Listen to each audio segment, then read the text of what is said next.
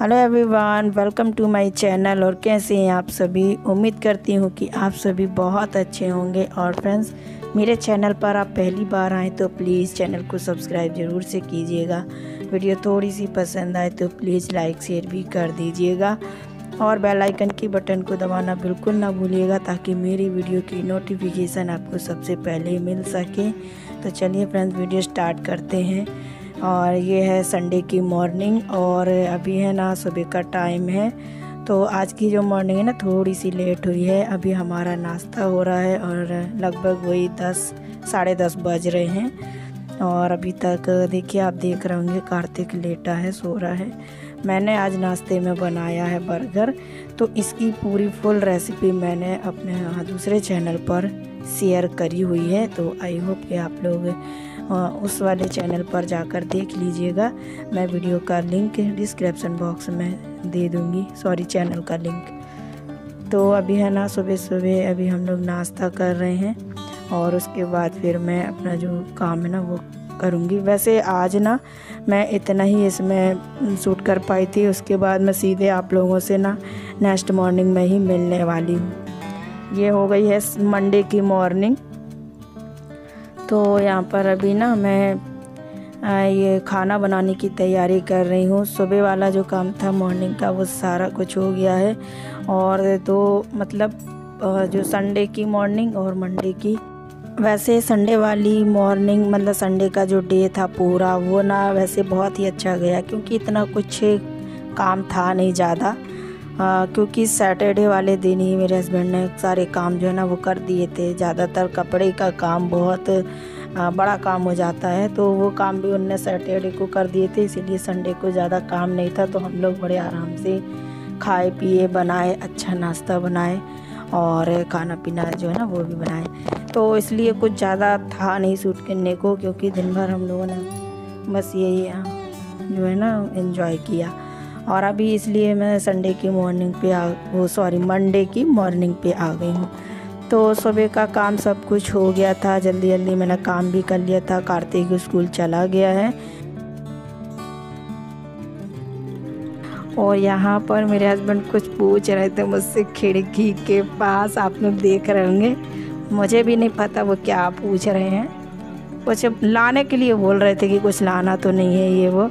तो वो जितनी बार भी आते जाते रहते हैं ना तो पूछते हैं क्योंकि चीज़ें लगती रहती हैं ना इस वजह से। तो फिर यहाँ ना मैं खाना बना रही हूँ। आज ना मैंने दाल बहुत दिनों बाद आ, मैंने भिगो कर बना रही हूँ। जब मैं ब्रेकफास्ट बना रही थी ना वो सॉरी चाय बनाई थी हाँ।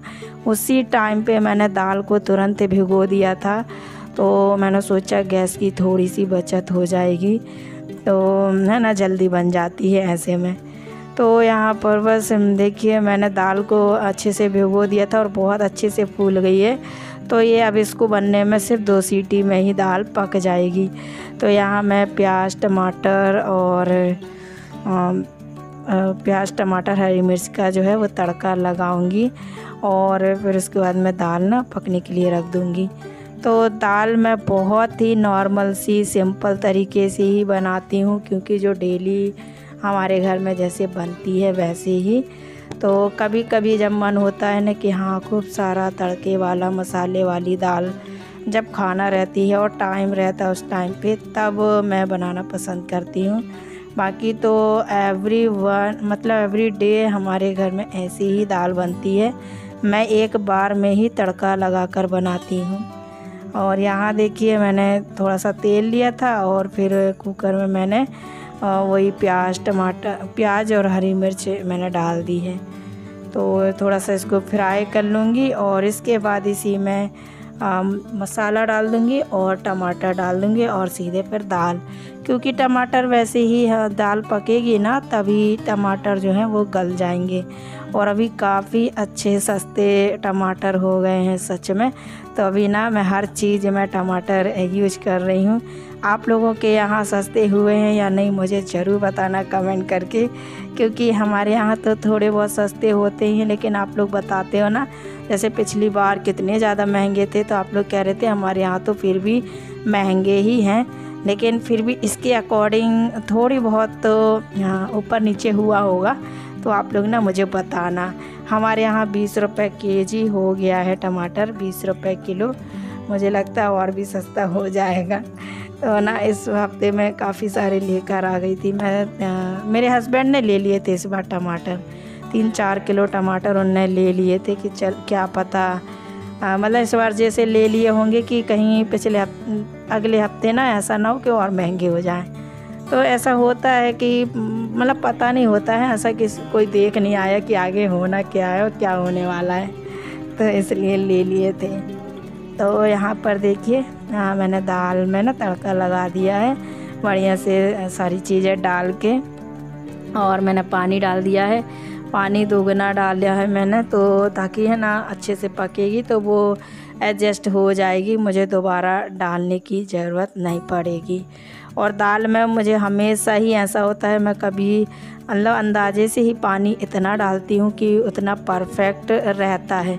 मुझे ना दोबारा उसमें पानी डालने की ज़रूरत नहीं पड़ती है कि गाढ़ी हो गई कि पतली, और परफेक्ट दाल बनती है। तो हो जाता है बनाते बनाते ना, अंदाज़ा भी हो जाता है। मैं ऐसे नाप के नहीं रखती हूँ दाल में पानी।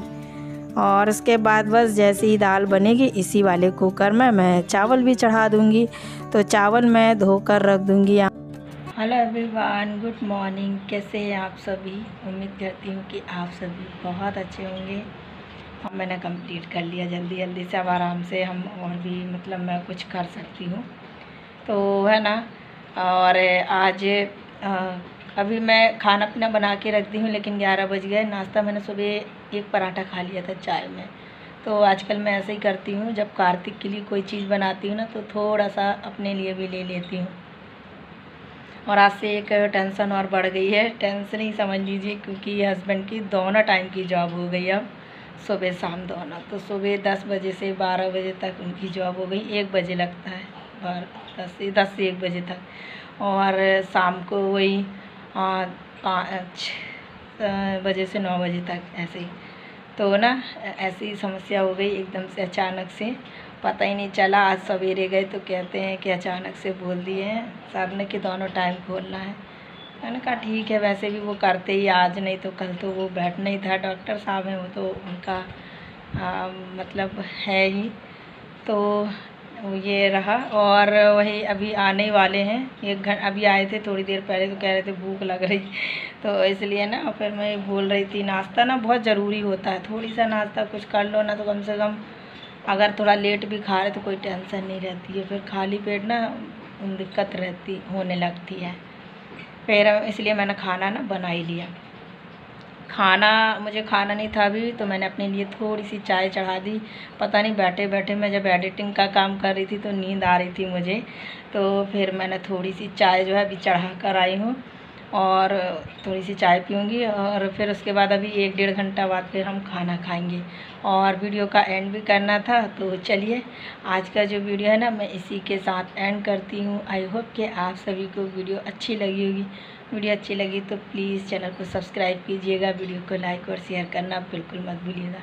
मैं मिलूँगी आप लोगों से अपनी नेक्स्ट वीडियो में। Bye bye